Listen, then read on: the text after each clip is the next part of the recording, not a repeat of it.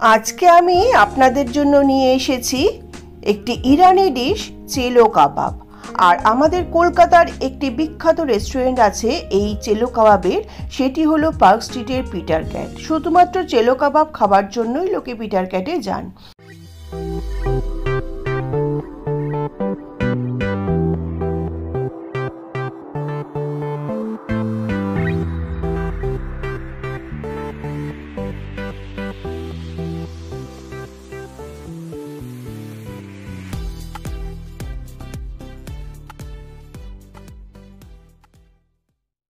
নমস্কার বন্ধুরা, আমি সুজাতা রসে বসে বাঙালিয়ানাতে আপনাদের সবাইকে সুস্বাগত। আমার আজকের রেসিপি ইরানি ডিশ চেলো কাবাব। ভিডিওটি ভালো লাগলে চ্যানেলটিকে সাবস্ক্রাইব করতে ভুলবেন না, কারণ আপনাদের সাবস্ক্রিপশানই আমাকে নতুন ভিডিও বানাতে মোটিভেট করবে।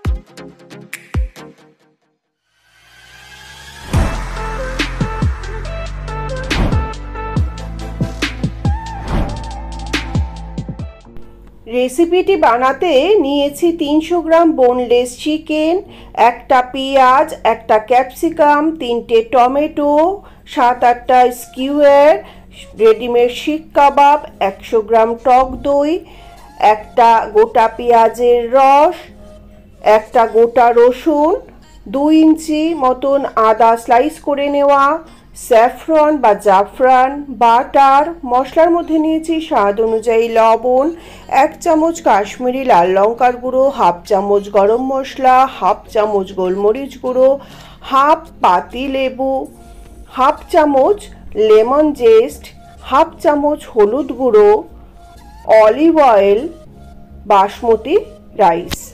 আর নিয়েছি ডিম। একটা গ্রাইন্ডার জার নিয়ে এর মধ্যে স্লাইস করে নেওয়া আদা ও রসুনটা দিয়ে একটা স্মুথ পেস্ট বানিয়ে নেব। এরপর একটা বড় কাচের বাটি নিয়ে নিলাম। এর মধ্যে আমি চিকেন কিউবগুলোকে ঢেলে দিচ্ছি।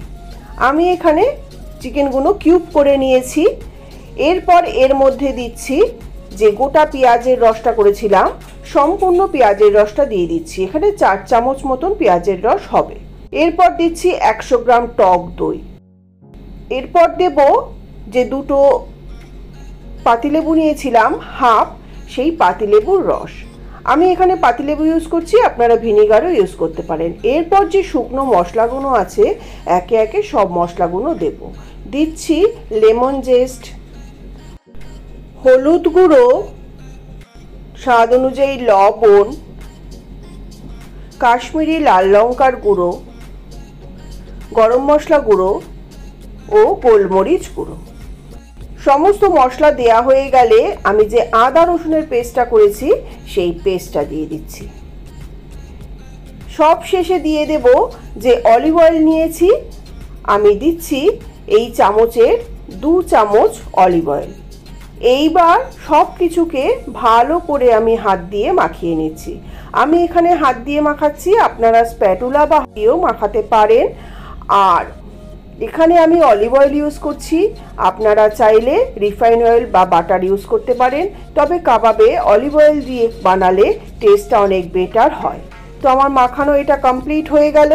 এইবার আমি এটা ঢাকা দিয়ে হোল নাইট ম্যারিনেট হতে দেবো। আমি যে কোনো কাবাব বা তন্দুর যাই করি হোল নাইট ম্যারিনেট করি মিনিমাম সাত থেকে আট ঘণ্টা ম্যারিনেট করি।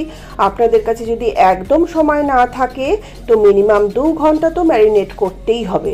তো দু ঘণ্টা ম্যারিনেট করে তবে রান্নাটা করবেন, কিন্তু আমি এটা ম্যারিনেট করে নেক্সট ডেতে আসছি রান্নাটা দেখাতে। আমি এটা নর্মাল ফ্রিজে রেখে দেবো। নেক্সট ডেতে আমি এই চালটাকে দেখুন, আমি লং গ্রেন বাসমতি রাইস নিয়েছি। এই চালটাকে আমি পাঁচ ছবার ভালো করে নর্মাল জলে ধুয়ে, ঠান্ডা জল দিয়ে দু ঘণ্টা ভিজিয়ে রাখব। দু ঘণ্টা বাদে আমি রাইসটা রান্না করতে চলে আসছি। এদিকে আমি হাফ অ্যান আওয়ার আগে চিকেনটা বার করে নিয়েছি। কেন কি আমি এখন এটা রান্না করব? আমার এটা সাত আট ঘণ্টা ম্যারিনেট হয়ে গেছে। এর মধ্যে আমি দিয়ে দিচ্ছি কিউব করে নেওয়া পেঁয়াজ ও ক্যাপসিকাম। পেঁয়াজ ও ক্যাপসিকামটাকেও আবার একটু চিকেনের সঙ্গে ভালো করে মাখিয়ে নেব। তাতে করে কি হবে? এই ক্যাপসিকাম ও পেঁয়াজের মধ্যে মশলাটা ভালো করে লেগে যাবে। আর তাতে টেস্টটাও ভালো হবে। তো এটাকে ভালো করে মাখিয়ে নিয়ে এইবার আমি এইগুলোকে যে স্কোয়ারগুলো নিয়েছিলাম, সেই স্কিওয়ারের মধ্যে আমি গেঁথে নেব। তাই জন্য আমি স্কিওয়ারগুলোকে একটু জল দিয়ে ভিজিয়ে রেখেছিলাম মিনিট কুড়ি আগে। এইবার আমি এক একটা স্কিওয়ার নিয়ে এর মধ্যে আমি এই ক্যাপসিকাম, পেঁয়াজ ও চিকেনের টুকরোগুলো দিয়ে কাবাবের আকারে গড়ে নেব। আমি এখানে মোটামুটি একটা কাঠিতে বা একটা স্কিওয়ারে চারটে করে চিকেন পিস দিচ্ছি। আপনারা আপনাদের পছন্দ অনুযায়ী কম বেশি যেরকম খুশি দিতে পারেন। তো দেখুন, আমার একটা স্কিওয়ারে চিকেন স্টিকগুলো গাঁথিয়ে নেওয়া হয়ে গেল। এইভাবে আমি প্রত্যেকটা স্কিওয়ারে চিকেন পিসগুলোকে ক্যাপসিকাম ও পেঁয়াজ দিয়ে গেঁথে নিচ্ছি। দেখুন আরও একটা আমি দেখিয়ে দিলাম। এইভাবে আমি প্রত্যেকটা স্কিওয়ারে গেঁথে নেব। দেখুন, আমার এখানে মোটামুটি পাঁচটা গাঁথা হয়েছে। তিনশো গ্রাম যে চিকেন নিয়েছি আর ক্যাপসিকাম ও পেঁয়াজে। আর আমি যে রেডিমেড শিক কাবাবটা নিয়েছি, সেখান থেকেও আমি পাঁচ পিস শিক কাবাব নিয়েছি। আবারও একটা স্কিওয়ার নিয়ে এর মধ্যে আমি যে তিনটে টমেটো নিয়েছি, সেই টমেটোগুলোকেও গেঁথে নিচ্ছি। কেন কি টমেটোগুলোকেও আমি সেকে নেব। আর আমার কাছে মাঝারি সাইজের টমেটো রয়েছে, আপনারা যদি চেরি টমেটো পান, তো চেরি টমেটো ইউজ করতে পারেন। চালটা দু ঘণ্টা ভিজিয়ে রাখা হয়ে গেল। দেখুন, এইবার আমি ভাতটাকে রান্না করব। একটা বাটি নিয়ে নিলাম। এর মধ্যে আমি যে স্যাফরন বা জাফরানটা নিয়েছি, সেখান থেকে ছোট একটা চামচের হাফ চামচ মতন স্যাফরন এই বাটির মধ্যে নিয়ে নেব, খুবই সামান্য। স্যাফরনটা নিয়ে আমি এর মধ্যে দিয়ে দেবো একটু উষ্ণ গরম জল।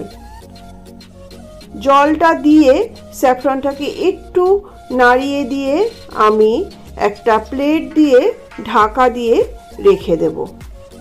গ্যাসটা অন করে আমি একটা গ্রিল প্যান বসিয়ে দিলাম। প্যানটাকে গরম হতে দিতে হবে। প্যানটা ভালোভাবে গরম হয়ে গেলে আমি এর মধ্যে দিয়ে দিচ্ছি বেশ খানিকটা অলিভ অয়েল। আমি এখানে অলিভ অয়েলই ইউজ করছি, আপনারা হোয়াইট অয়েল বা বাটার ইউজ করতে পারেন। তেলটা দিয়ে একটু প্যানটাকে ভালো করে ঘুরিয়ে নেব তাতে সম্পূর্ণ প্যানে ভালো করে তেলটা লেগে যায়। এরপরে আমি এর মধ্যে যে স্কিউয়ারের মধ্যে গেঁথে রেখেছি। সেই চিকেন পিসগুলোকে আমি এক এক করে সাজিয়ে দেব। পাঁচটাই আমার একসঙ্গে এসে যাচ্ছে, তো আমি সবগুলোকেই দিয়ে দিলাম। ম্যারিনেট করার যে মশলাটা রয়েছে সামান্য, সেটাও আমি ওপর থেকে অল্প অল্প করে দিয়ে দিচ্ছি। এবার মিডিয়াম টু হাই ফ্লেমে একটা সাইড পাঁচ থেকে সাত মিনিট আমি হতে দেব। তারপরে আমি অপর একটা সাইড উল্টে দেব। আর এই সময় কিন্তু আমি ঢাকা বন্ধ করব না। এই সময় ঢাকা খোলা অবস্থাতেই আমি উল্টে পাল্টে রং ধরা পর্যন্ত একটু ভাজা ভাজা করে নেব। দেখুন, পাঁচ থেকে সাত মিনিট হয়ে গেছে, আমি আবারও প্রত্যেকটা স্টিককে উল্টে দিচ্ছি। এক এক করে হালকা হাতে উল্টে আমি চারটে সাইডই এইভাবে গ্রিল করে নেব।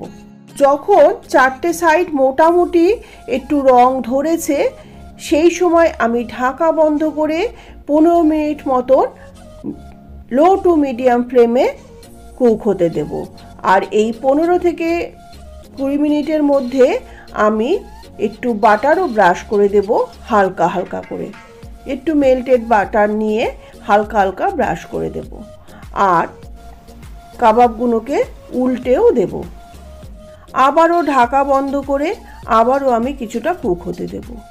চিকেনটা যতক্ষণ কুক হচ্ছে, সেই সময় আমি একটা রুটি ছাকনি নিয়ে নিলাম। এর মধ্যে আমি যে টমেটোগুলো স্কিওয়ারের মধ্যে গেঁথেছি, এবার টমেটোর গায়ে সামান্য বাটার দিয়ে দিয়ে আমি এই রুটি ছাকনির ওপরে রেখে টমেটোগুলোকে একটু ঝলসে নেব বা সেকে নেব। বেশ ঘুরিয়ে ঘুরিয়ে সুন্দর করে নরম হওয়া পর্যন্ত টমেটোগুলোকে সেঁকে নিচ্ছি। দেখুন, এইভাবে টমেটোগুলো সেঁকে সেঁকে বেশ সুন্দর নরম হয়ে সিদ্ধ হয়ে যাবে। তো টমেটোগুলো আমার হয়ে গেল, টমেটোগুলো নামিয়ে নিয়েছি। অপরদিকে মিনিট পনেরো হয়ে গেছে, আমি আবারও ঢাকাটা খুলে দেখছি যে চিকেনগুলো কতটা নরম হয়ে রান্নাটা হয়েছে। তো দেখুন, খুব সুন্দর রং ধরেছে। আবারও আমি আরেকটু উল্টে পাল্টে দিচ্ছি। আর এবার চিকেনের পিসটাকে নিয়ে আপনাদের দেখাবো চিকেনটা কতটা সফট হয়েছে। এখন চিকেনটা হাত দিয়ে চাপলেই একদম নরম হয়ে গলে গেছে। তো কাবাবটা খুব সুন্দরভাবে হয়ে গেল। কাবাবটা আমি এবার নামিয়ে নিচ্ছি। গ্যাসটাকে অন করে আমি আরও একটা ফ্রাই প্যান বসিয়ে দিলাম। এই ফ্রাই প্যানটাতেও আমি এবার দিয়ে দিচ্ছি কিছুটা অলিভ অয়েল। যে রেডিমেড শিক কাবাবগুলো নিয়েছি, সেই শিক কাবাবগুলোকে আমি ভেজে নিচ্ছি। আমি যেহেতু এখানে চেলো কাবাবটা পুরো কমপ্লিট চিকেনের উপরে করছি, তো আমি রেডিমেড শিক কাবাব নিয়েছি। যদি মাটন দিয়ে করতাম, তাহলে অবশ্যই শিক কাবাবের রেসিপি দেখাতাম। নেক্সট টাইম যখন আমি মাটন দিয়ে করব, তখন অবশ্যই আমি শিক কাবাব কীভাবে বানাতে হয় দেখাবো। তো উল্টে পাল্টে লো টু মিডিয়াম ফ্লেমে আমি রেডিমেড কাবাবগুলোকে সুন্দর রং ধরা পর্যন্ত ভেজে নিচ্ছি। এইগুলো ভেজে নেওয়া হয়ে গেল, এইবার আমি এইগুলোকে নামিয়ে নেব।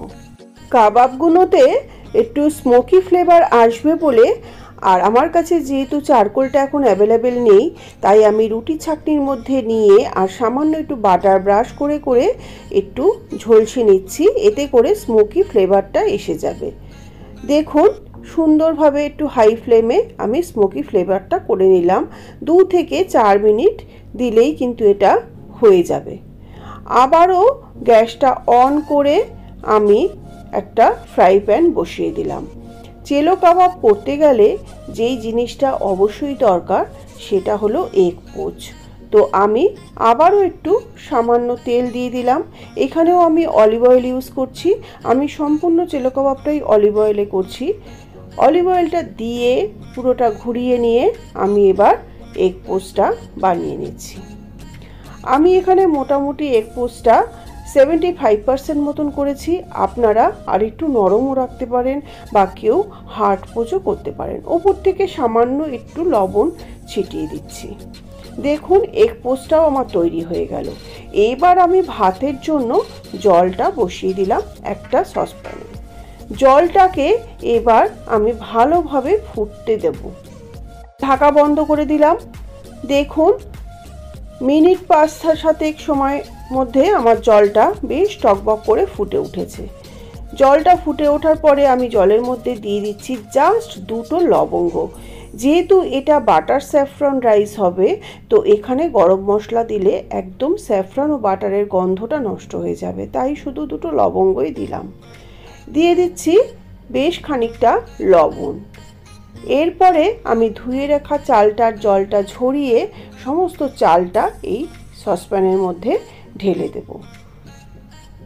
সমস্ত চালটা দিয়ে এবার একটু নাড়াচাড়া করে হাই ফ্লেমে আমি এই স্যাফরন রাইসটাকে নাইনটি পারসেন্ট মতন কুক করে নেব। আর যে কোনো চাইনিজ প্রিপারেশন বা ইন্দোনেশিয়ান প্রিপারেশন যে কোনো কিছুই হোক না কেন বা বিরিয়ানি রাইস কিন্তু সব সময় হাই ফ্লেমে করতে হয়। বাসমতি রাইস যদি লো ফ্লেমে বসিয়ে রাখেন, তাহলে কিন্তু সেটা নরম হয়ে যাবে। তো ভাতটা আমার অলমোস্ট হয়ে গেছে। আমি এটা নাইনটি পারসেন্ট কুক করছি মানে ভাতটা গোটা আছে, কিন্তু হাত দিলে, চাপ দিলে ভেঙে যাবে। কিন্তু ভেতরে একটু শক্ত আছে, এই অবস্থায় আমি ভাতটাকে নামিয়ে, ভাতের মাঠটাকে আমি ড্রেন করে নিচ্ছি। এবার আবারও আমি এটা গ্যাসের ওপরে বসিয়ে দিয়েছি। এবার একটা চাকু দিয়ে আমি ভাতের মাঝখানে চারটে পাঁচটা গোল গোল করে দিলাম, একটু স্পেস বানিয়ে নিলাম। এই যে গোল গোলগুলো করলাম, এর মাঝখানে আমি অল্প অল্প করে দিয়ে দেব বাটার। বাটারটা আপনারা আপনাদের প্রয়োজন অনুযায়ী কম বেশি দেবেন, আমি পাঁচটা জায়গাতে বাটারটা দিয়ে দিলাম। এরপর যে স্যাফরন জলের মধ্যে ভিজিয়ে রেখেছিলাম, সেই জলটা আমি আস্তে আস্তে পুরো ভাতটার মধ্যে ঘুরিয়ে ঘুরিয়ে দিয়ে দেব। দেখুন, সমস্ত স্যাফরন ওয়াটারটা আমার ভাতের মধ্যে দেয়া কমপ্লিট হয়ে গেল। এরপর আমি এটা সঙ্গে সঙ্গে একটা টাওয়েল দিয়ে ঢাকা দিয়ে দেব। তারপরে ঢাকনাটা বন্ধ করে আমি লো টু মিডিয়াম ফ্লেমে মিনিট পাঁচেক গ্যাসটা অন করে গ্যাসের ওপরেই আমি বসিয়ে রাখব। তাতে করে যে স্যাফরন ওয়াটারটা সেটাও যেমন টেনে আসবে, আর নাইনটি পারসেন্ট যে ভাতটা কুক করেছিলাম, সেটাও পুরোটা কমপ্লিট হয়ে যাবে। আর এটা সঙ্গে সঙ্গে বন্ধ করে দেবেন, তাহলে স্যাফরনের গন্ধটা উড়ে যাবে না। তো দেখুন, কত সহজেই তৈরি হয়ে গেল পিটার ক্যাট স্টাইলের বাটার স্যাফরন, চেলো কাবাবের রাইসটা। এইবার জাস্ট প্লেটিং করে নিলেই হয়ে যাবে চেলো কাবাব। রেসিপিটি আপনাদের ভালো লাগলে ভিডিওটি লাইক করবেন, বন্ধুদের সঙ্গে শেয়ার করবেন ও চ্যানেলটিকে সাবস্ক্রাইব করে বেল আইকনটি প্রেস করে দেবেন। এতে আপনারা নিয়মিত আমার চ্যানেলের আপডেট পাবেন। আপনাদের কোনো বক্তব্য থাকলে কমেন্ট বক্সে জানাবেন নমস্কার ধন্যবাদ.